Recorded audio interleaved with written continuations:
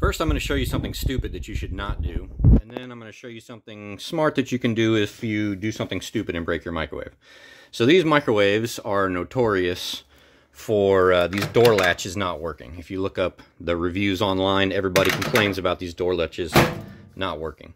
So I was having problems with my door latch, and so I figured I would take off some of the material on the latch to help it open a little better. So it used to look like that, be nice and tall, and I whittled it down, be a little shorter, maybe it would pop up a little easier.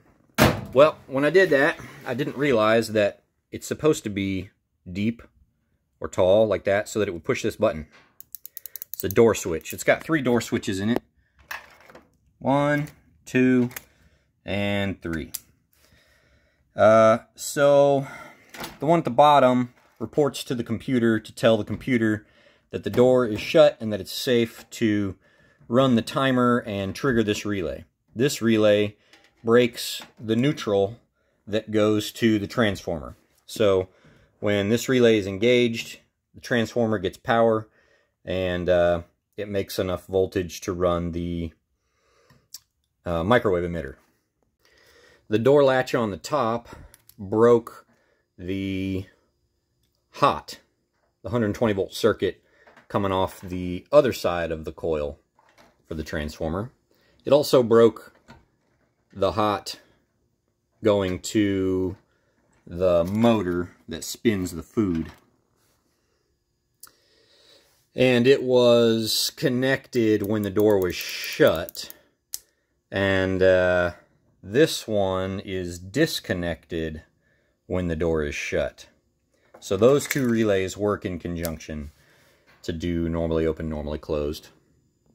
So originally what I tried was I added this relay in place of this relay. And this relay is triggered when the timer triggers this relay.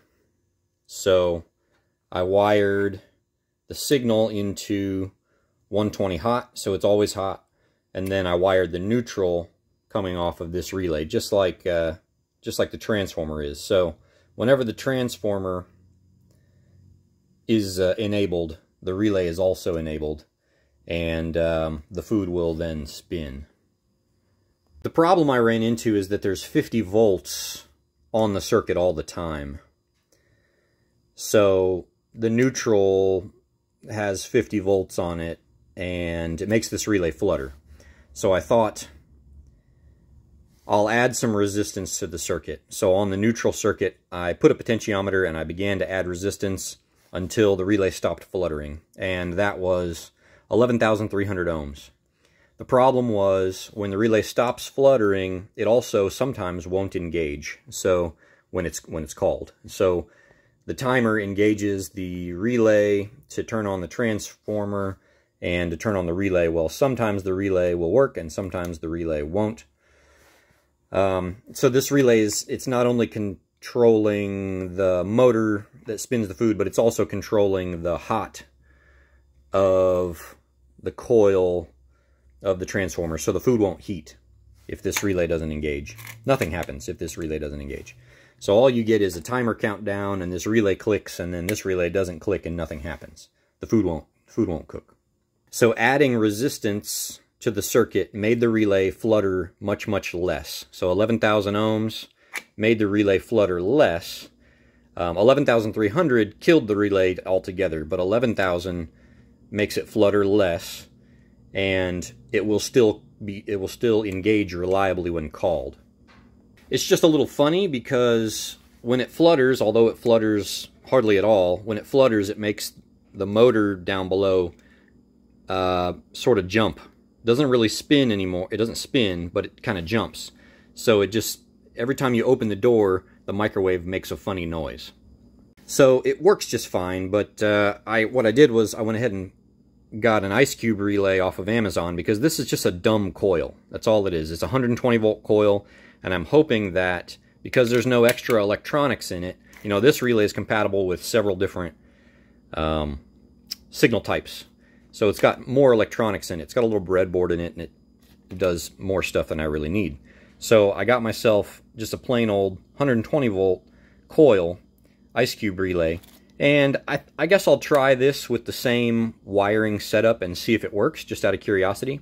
But then I also, uh, now this is single pole double throw, and I bought a double pole double throw because I can use this one relay to mimic the function of all of the door switches, or at least two of them, two of the door switches. The uh, This one here will stay in place. The one that uh, is currently reporting to the computer will be used to trigger the relay, and then the relay will mimic the function of both of these other relays. But first I'm going to see if my theory is correct that uh, the, the more rudimentary coil will not be affected by the 50 volts uh, that's always present. So I'll be able to remove these resistors, put this in, and we'll give it a test. So I put the ice cube relay in place of the RIB relay. Let's see what happens when we plug this guy in.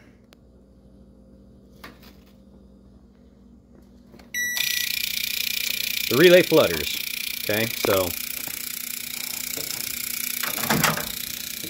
see how it spins that motor?